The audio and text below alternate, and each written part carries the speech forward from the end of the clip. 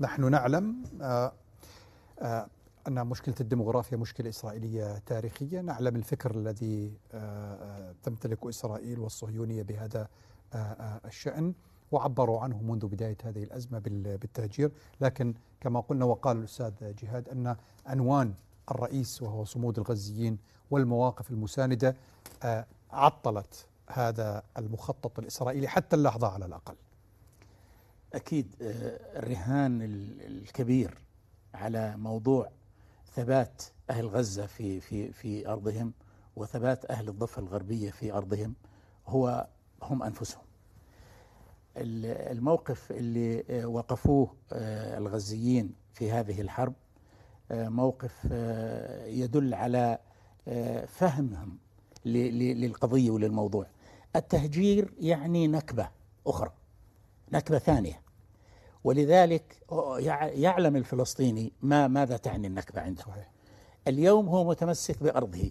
صحيح أنه في بعض العائلات يعني انتقلت من شمال غزة إلى إلى جنوبها وكثير منهم رجع على فكرة. بس بعد داخل غزة. نعم، داخل غزة, غزة وداخل غزة لم يغادروا. تقريبا لم مليون هذا ألف هذا باب. هذا يعني أحد الأركان القضية. أن الشعب الفلسطيني متمسك بأرضه ولا يمكن أن آه، آه، يعني تنطلي عليه قضية آه، يعني مغادرة أرضه تهجيره لفترة من الزمن إلى أن تعود الأمور ثم يعود. هذه قضية ما عادت تنطلي على الفلسطينيين ولا على العالم.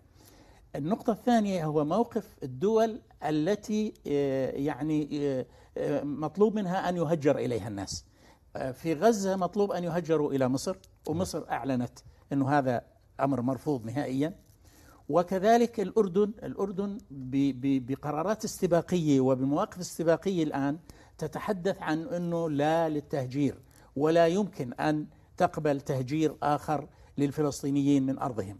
بالرغم من أنه يعني اليوم إذا إذا الغزاويين تهجروا الدور جاي على على أهل الضفة. ما في كلام. وإسرائيل هدفها الوحيد أنا أن تفرغ الأرض. يعني معروف هذا الكلام قدام. إسرائيل هدفها أن تفرغ الأرض من الناس حتى يعني آه، تقيم على أرض ليس فيها شعب. هي إسرائيل دولة جاءت على أساس أنه فلسطين ما فيها شعب. تريد دولة يهودية خالص هي, يعني هي تقول آه، هي آه، فلسطين أرض بلا شعب وهم اليهود شعب بلا أرض. فهم جايين على أساس يسكنوا في أرض ليس فيها أحد يقاوم أو يعني يطالب بحقه أو ينتفض أو يقاتل بهذه القضية. مسألة التهجير مسألة خطيرة جدا وهي من أهم القضايا التي يجب أن يتنبه لها العالم.